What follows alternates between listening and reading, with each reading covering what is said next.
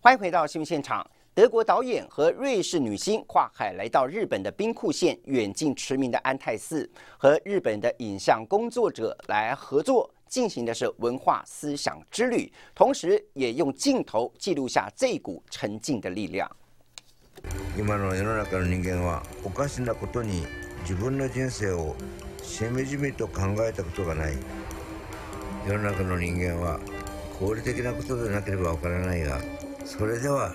それが何になっているのか実は何にもなっていないのである在日本库宾县远近驰名的安泰寺，现在有一名来自德国柏林的无方和尚管理。这里就像是给旅人心灵寄托的绿洲。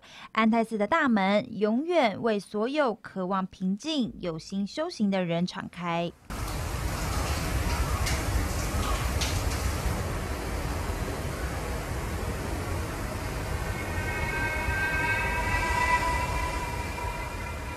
不问年龄、性别、职业、信仰、经历、国籍、种族，来到这里，大家都是修行者，生活全部一视同仁。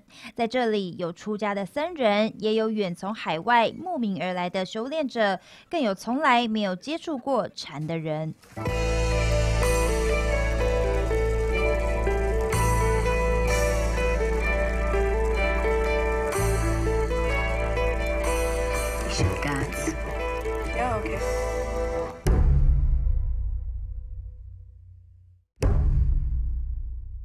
安泰寺承袭日本则木星道禅师的精神，主张只管打坐的修行，强调人生在世的每一个当下都是修行。